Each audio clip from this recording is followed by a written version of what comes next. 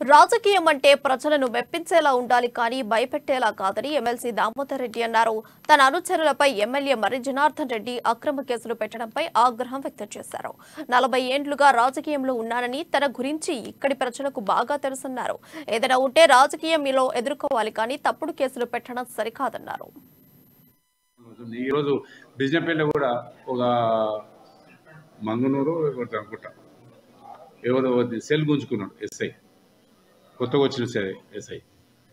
ఆ- విధంగా ధర్మ పద్ధతి కాదు. ఈ ఈరోజు చూసినాం కొన్ని ఇచ్చినాం మీ- ప్రెస్ వాళ్ళకు.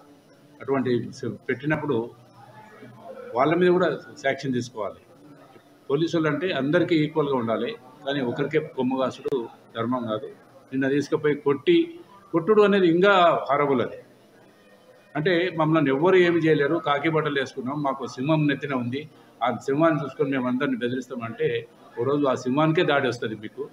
ఎందుకంటే ఎవరైనా ఎదురు తిరిగి ప్రూఫ్ చేసిందంటే మీ సస్పెన్షను మీ ఆర్డర్స్ మీకు అవన్నీ వచ్చి రోడ్ల మీద తిరగవలసిన అవసరం వస్తుంది. అటువంటి పరిస్థితి తెచ్చుకోకుండా సర్వీస్లో ఉన్న రోజు ప్రజలకు సేవ చేయాలి. ప్రజాధనంతో మీరు జీతాలు తీసుకొని మీరు సో- బతుకుతున్నారు. అటువంటి అప్పుడు ప్రజలకు సేవ చేసేది పోయి ప్రజల్ని మీరు టార్గెట్ చేసి బెదిరిస్తే మంచి సాంప్రదాయం కాదు. ఏదో నాడు